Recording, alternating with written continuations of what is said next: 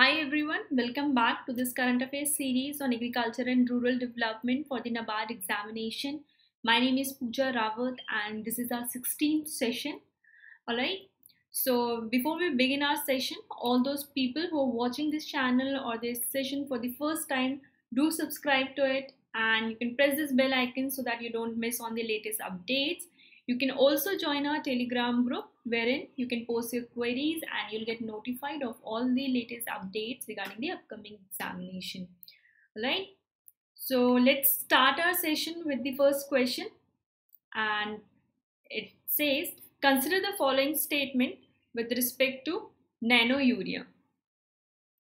Alright, so this nano urea is recently being launched and this is the world's first nano urea which is in the liquid form. The first statement here is this is first of its kind in the world right? And this one is developed by IFFCO which is the Indian Farmers Fertilizer Cooperative Limited. Absolutely correct. So this is the world's first nano urea which is in the liquid form and it is being developed by IFFCO uh, with uh, the use of indigenous technology all right? So IFFCO this is the largest cooperative and one of the largest producer of fertilizer in the world. Okay, so this is the largest cooperative and it was established around 1967. So one of the oldest and the largest. Right. Second statement here is it will reduce the input cost to the farmers. Absolutely correct because this nano urea is around 10% cheaper 10% cheaper than the regular, your traditional urea bag ठीक है? जो urea bag मिलता है, उससे cheaper है। So it will reduce the input cost reduce the fertiliser cost for the farmers fertiliser cost कम हो रही है इनपुट कॉस्ट कम हो रही है दैट मीन्स जो आपका प्रॉफिट होगा दैट वुड इंक्रीज फार्मर्स का जो प्रॉफिट होगा that will increase it's going to give farmers an additional income not an additional income but an increased income right? So both of these statements are correct and the correct option would be c. So this uh, uh, what you can say? This innovation is in line with india's goal of achieving or doubling farmers income right? Second question here is Recently, the Labour and Employment Ministry set up an expert group that will provide technical inputs and recommendation on the fixation of minimum wages and the national floor level minimum wage. You have to identify this panel or this group is chaired by whom. Okay, so recently Labour and Employment Ministry ने एक group बनाया जो कि minimum wage recommend करेगा और एक floor level minimum veg जो है वो भी रिकमेंड करेगा So first we need to understand what is minimum wage and what is the national floor level minimum wage, right? Difference क्या है बेसिकली दोनों में? So we have code on wages okay so there are four laws on the labour ठीक है? So basically जो पूरा labour ecosystem है, उसको रिफॉर्म करने के लिए रिवाइज करने के लिए the government have came up with the four laws four codes जिसे हम कहते हैं. And there is one this code called code on wages and it talks about the national floor level minimum wage ठीक है? So this is the minimum wage basically that could be given to the labours तो जैसे कि हमारे agriculture uh, product में हम बोलते हैं एम एस पी है that is the minimum support price है। Similarly in line with that we have national floor level minimum wage which is decided by centre ठीक है? Based on this floor wage the state would decide the minimum wage Okay, so the minimum wage could vary from state to state, but it could not be lower than the national floor wage. Okay, जो floor level wage है उससे कम नहीं होना चाहिए. So present अगर हम देखें presently जो फ्लोर लेवल मिनिमम वेज है इंडिया में that is around rupees one seventy six ठीक है and so this was about the minimum wage and the national floor level minimum wage i hope uh, now you can easily differentiate between the two now you need to identify this group is chaired by whom the first is anup satpathy and the second is ajit mishra the third is ashok dalwai and the fourth is pj nair so the correct option here is second, that is the Ajit Mishra. Okay, so the current panel is headed by Ajit Mishra.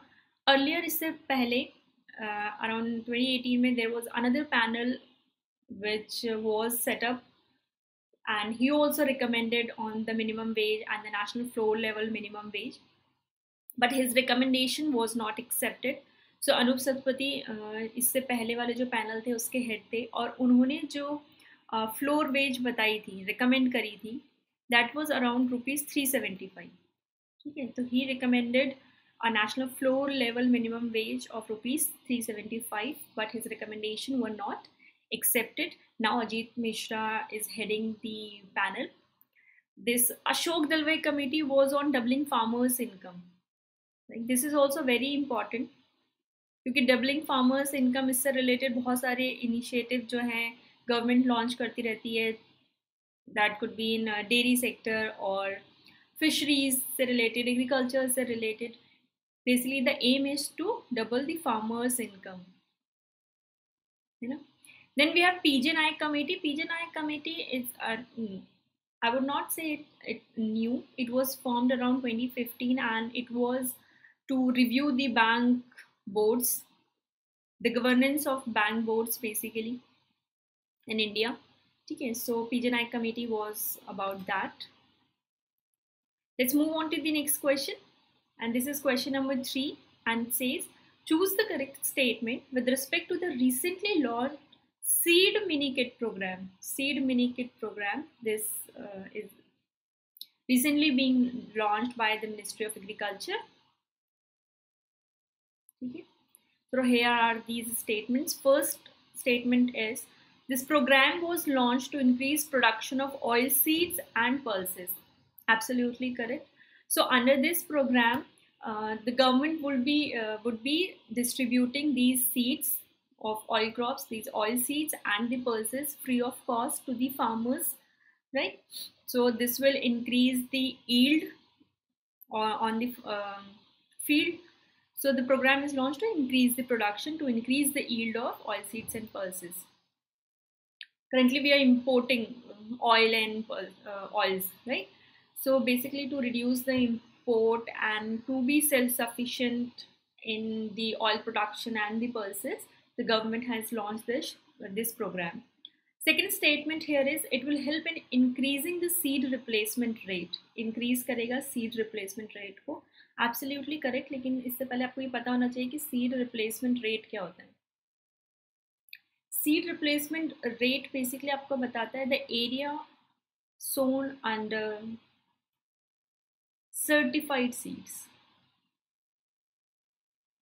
ठीक है certified seed तो आपको difference पता होना चाहिए। देखिए, जब farmers जो है फार्मर्स अपने फार्म में, इस फ़ील्ड में कोई क्रॉप ग्रो करता है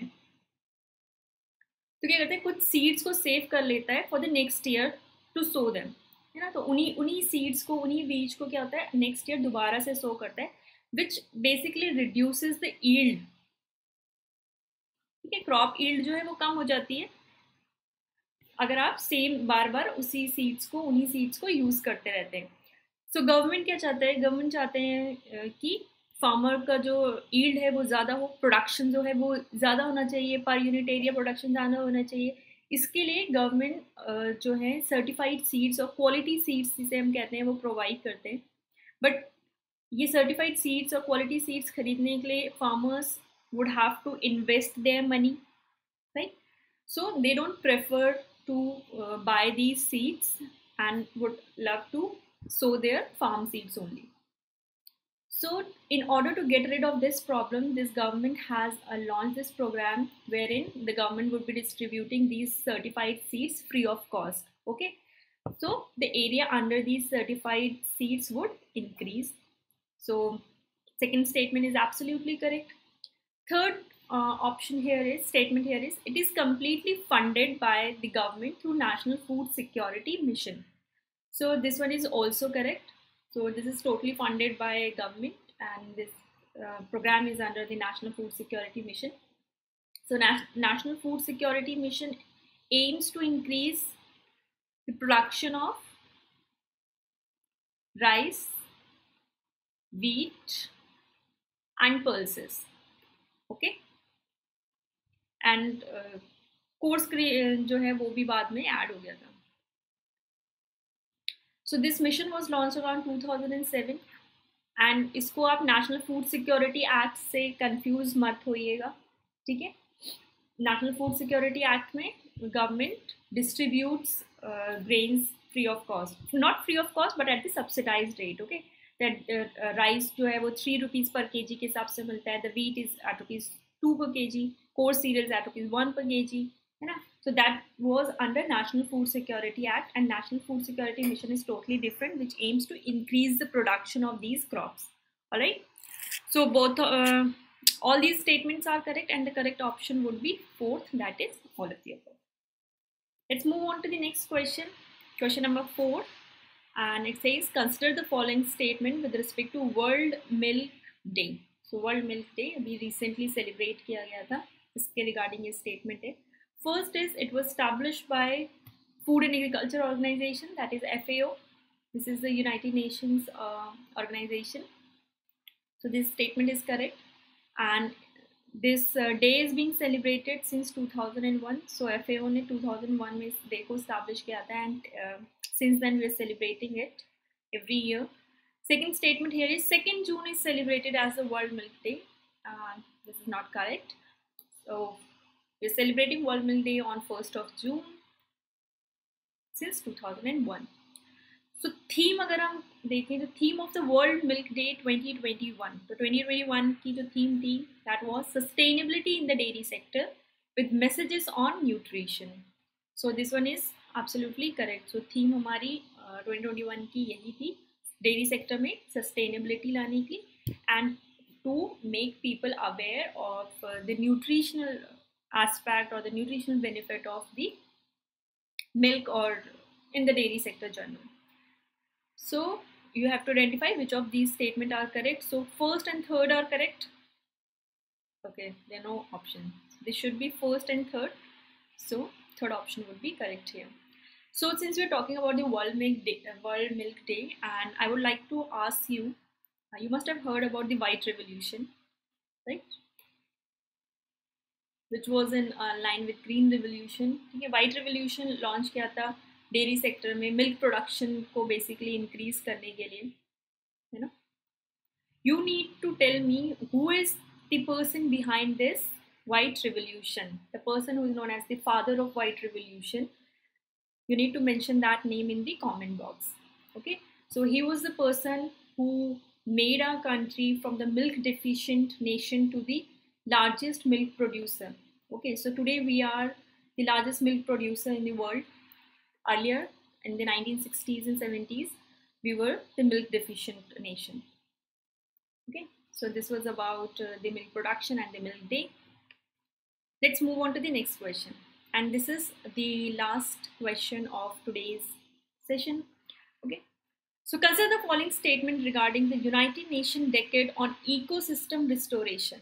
21 2013 okay so this decade is being named as the united nations decade on ecosystem restoration the theme of this decade would be restoring the ecosystem and uh, अगर आपको याद हो 2011 टू 2020 का जो डेकेड था यानी कि द प्रीवियस डेकेड जो था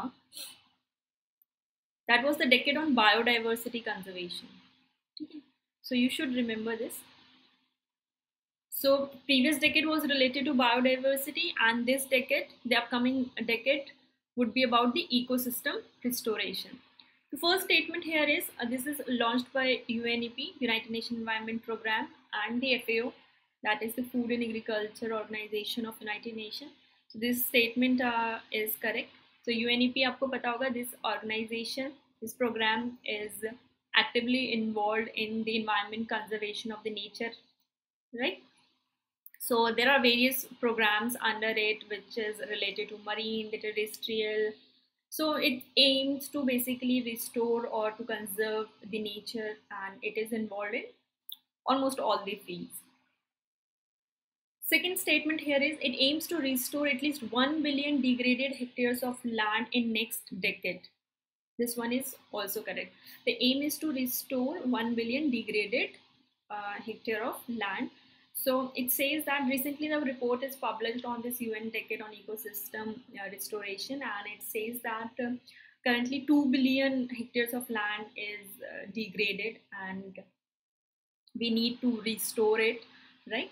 So it asks different uh, nations and different stakeholders, uh, organize uh, like the governments, non-government organizations, the private organization to actively take part in this program and says that um, every one US dollar that you spend uh, on ecosystem restoration would eventually result in up to 30 US dollar of economic benefit. That means if you are investing one dollar on ecosystem restoration today, you are going to get the economic benefit of up to $30. Okay, and it also called for the protection and revival of ecosystem across the world okay? So it's going to um, it aims to stop the degradation and of ecosystem and restore them to achieve the world's goal right? So this was about this decade on ecosystem restoration. Both of these statements are correct and the correct option here would be c. That is both right so this is it with today's session. I hope you like it. In case you have any queries, you can post it down on the comment section. Okay. So we'll see you in the next session. Till then, keep working hard, keep studying. Goodbye.